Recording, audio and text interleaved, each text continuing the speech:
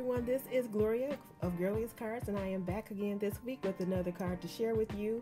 This week, our spotlight is on kites. So, I am entering this card into Saturday Morning Makes, hosted by Jill Norwood, as well as two crafters, one design, two crafters, one design. Um, please don't forget to stop by and visit Melissa of Moe Creations, as well as Lisa. You see why I am a diva um, we all got together, we had a craft night, and we decided that this week would be spotlighting, we would be spotlighting kites.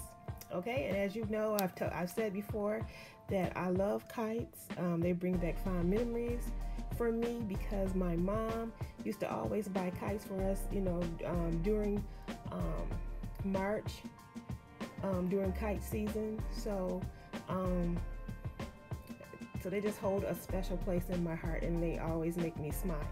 Okay, so without further ado, let me show you what I use to create the card.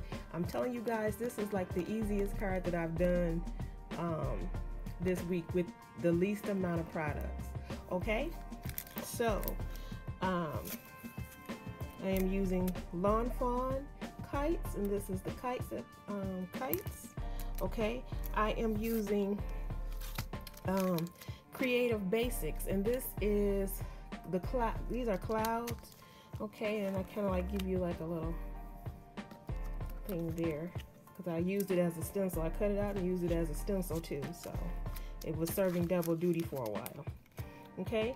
And I also used um, my favorite things and this is uh, clouds okay Alrighty, so without further ado, let me show you this kite card.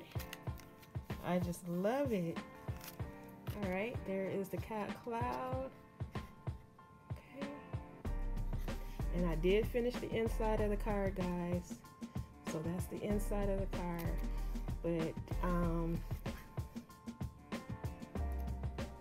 that is my card for this week. And like I've said, please do not forget to stop by and visit Melissa of Moe Creations as well as Lisa if you see why I am a diva. Um, like I said, this was like the easiest card that I've done this I've done this week.